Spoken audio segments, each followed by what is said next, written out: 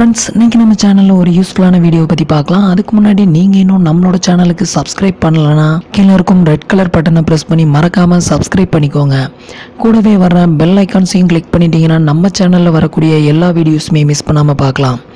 Friends இன்றைக்கி நம்ம சேனலில் பார்க்கக்கூடிய வீடியோ என்னன்னு பார்த்தீங்கன்னா நம்மளோட எஸ்பிஐ டெபிட் கார்டு சர்வீஸை நம்மளோட மொபைல் பேங்கிங்கை யூஸ் பண்ணி ஆன் ஆஃப் பண்ணி எப்படி கண்ட்ரோல் பண்ணுறது அப்படிங்கிற டீட்டெயிலை பற்றி தான் இன்றைக்கி நம்ம வீடியோவில் பார்க்க போகிறோம் அதாவது பார்த்தீங்கன்னா நம்மளோட டெபிட் கார்டு சர்வீஸை நம்மளோட மொபைல் ஃபோனை யூஸ் பண்ணியே எப்படி நம்ம கண்ட்ரோல் பண்ணலாம்? அது மட்டும் இல்லாமல் நம்மளோட டெபிட் கார்டு டீட்டெயில்ஸை மற்றவங்க தெரிஞ்சிருந்தாலும் அவங்க வந்து அன்வான்டாக யூஸ் பண்ணுறத எப்படி நம்ம அவாய்ட் பண்ணுறது அப்படிங்கிற டீட்டெயிலை பற்றி தான் இன்றைக்கி நம்ம வீடியோவில் பார்க்க போகிறோம் ஃபஸ்ட்டு உங்களோட எஸ்பிஐ மொபைல் பேங்கிங்கை வந்து ஓப்பன் பண்ணிக்கோங்க.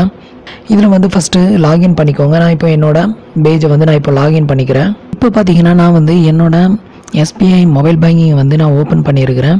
இப்போ வந்து இந்த என்னோட டெபிட் கார்டு சர்வீஸை நான் எப்படி நான் வந்து கண்ட்ரோல் பண்ணுறது அப்படின்னு நான் இப்போ காட்டுறேன். இப்போ பார்த்தீங்கன்னா நார்மலாக உங்களோட ஹோம் பேஜ் வந்து இந்த மாதிரி தான் ஓப்பன் ஆகிருக்கும் இதில் பார்த்தீங்கன்னா சர்வீஸ் அப்படின்னு ஒரு ஆப்ஷன் கொடுத்துருப்பாங்க. இந்த ஆப்ஷனை சூஸ் பண்ணிக்கோங்க. இந்த ஆப்ஷனில் பார்த்தீங்கன்னா மேனேஜ் டெபிட் கார்டு அப்படின்னு ஒரு ஆப்ஷன் இருக்கும்.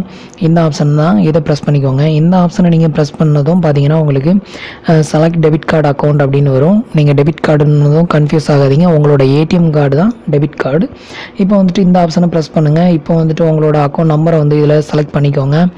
நெக்ஸ்ட் பார்த்தீங்கன்னா இந்த மாதிரி லோட் ஆகும். அதுக்கு உங்களோட கார்டு நம்பரை வந்து செலக்ட் பண்ண சொல்லும். இப்போ பார்த்தீங்கன்னா நெக்ஸ்ட்டு உங்களோட கார்டு நம்பரை வந்து செலக்ட் பண்ண சொல்லும் இப்போ வந்துட்டு இதை சூஸ் பண்ணிங்கன்னா உங்களோட கார்டு நம்பர் டிஸ்ப்ளே ஆகும்.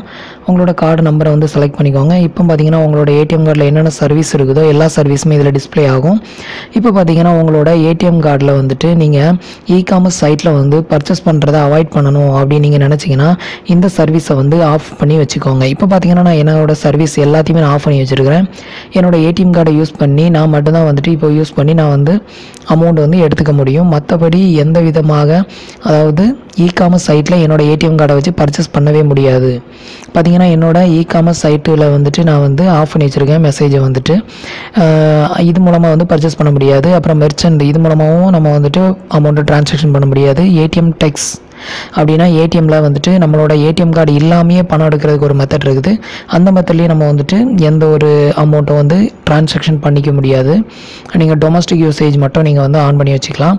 வேறு இன்டர்நேஷ்னல் இதெல்லாம் வந்துட்டு உங்களுக்கு தேவையப்படாது பார்த்தீங்கன்னா இதில் இந்த ஒரு சர்வீஸை தவிர மீதி எல்லா சர்வீஸுமே நீங்கள் ஆஃப் பண்ணி யூஸ் பண்ணிக்கலாம். இப்போ நீங்கள் எக்ஸாம்பிளுக்கு வந்துட்டு நீங்கள் வந்து இ காமர்ஸ் சைட்டில் பர்ச்சேஸ் பண்ண போகிறீங்க உங்களோட ஏடிஎம் கார்டை வச்சு அப்படின்னா அந்த டைமில் மட்டும் இதை வந்து ஆன் பண்ணி விட்டுக்கோங்க. நெக்ஸ்ட் உங்களோட லிமிட் நீங்கள் வந்து பர்ச்சேஸ் பண்ணக்கூடிய லிமிட்டை வந்து இதில் நீங்கள் என்ட்ரு பண்ணி நீங்கள் அதையும் மாற்றிக்க முடியும். எக்ஸாம்பிளுக்கு பார்த்தீங்கன்னா இப்போ டென் தௌசண்ட் போட்டிருக்கிறேன். இதே மாதிரி நீங்கள் வந்து எக்ஸாம்பிளுக்கு மாற்றிக்கலாம் இல்லை உங்களுக்கு வந்துட்டு இ காமர்ஸ் சைட்டில் நீங்கள் எதுவுமே பர்ச்சேஸ் பண்ண மாட்டேன் அப்படின்னா நீங்கள் அந்த சர்வீஸை வந்து ஆஃப் பண்ணி வச்சுக்கோங்க. உங்களுக்கு தேவையில்லாத சர்வீஸை வந்து ஆஃப் பண்ணி வைக்கிறது மூலமாக பார்த்தீங்கன்னா உங்களோட டெபிட் கார்டு வேறு யாரோட கையில் கிடச்சி அவங்க வந்து உங்களோட டெபிட் கார்டு டீட்டெயில் ஃபுல்லாகவே தெரிஞ்சிருந்தாலும் அவங்க வந்து உங்களோட டெபிட் கார்டை மிஸ்யூஸ் பண்ண முடியாது. உங்களோட டெபிட் கார்டு உங்களோட டெபிட் கார்டோட பாஸ்வேர்டு எல்லாமே தெரிஞ்சிருந்தாலும் அவங்க ஆன்லைனில் வந்து பர்ச்சேஸ் பண்ண முடியாது.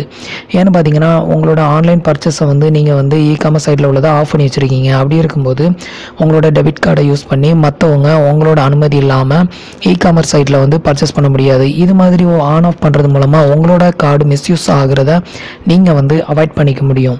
இதை ஃபைனலாக வந்துட்டு இதை ஆன் பண்ணி விட்டுட்டு நீங்கள் எந்தெந்த எந்தெந்த டீட்டெயில்ஸ் உங்களுக்கு தேவையோ அந்த டைமில் மட்டும் நீங்கள் ஆன் பண்ணி ஆஃப் பண்ணிக்கோங்க. ஆஃப் பண்ணிவிட்டு ஃபைனலாக சப்மிட் கொடுத்துருங்க.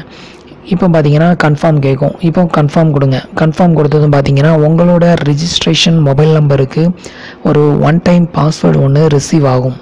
இந்த ஒன் டைம் பாஸ்வேர்டை நீங்கள் என்ட்ரு பண்ணி கண்டினியூ கொடுத்ததும் பார்த்தீங்கன்னா இது அப்படியே உங்களுக்கு சேவ் ஆயிடும் இப்போ பார்த்தீங்கன்னா உங்களோட ரிஜிஸ்ட்ரேஷன் மொபைல் நம்பருக்கு ஒரு ஒன் டைம் பாஸ்வேர்டு வந்திருக்கும்.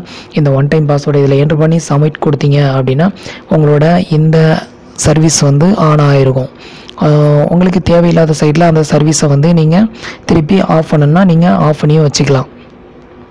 இது மூலமாக பார்த்தீங்கன்னா உங்களோட ஏடிஎம் கார்டை மற்றவங்க மிஸ்யூஸ் பண்ணுறத ரொம்பவே அவாய்ட் பண்ண முடியும். ஃப்ரெண்ட்ஸ் இந்த வீடியோ உங்களுக்கு ரொம்பவே யூஸ்ஃபுல்லாக இருக்கும் அப்படின்னு நம்புகிறேன் நம்மளோட வீடியோ பிடிச்சிருந்ததுன்னா லைக் பண்ணுங்கள் ஷேர் பண்ணுங்கள் கமெண்ட் பண்ணுங்கள் தேங்க்யூ ஃபார் வாட்சிங்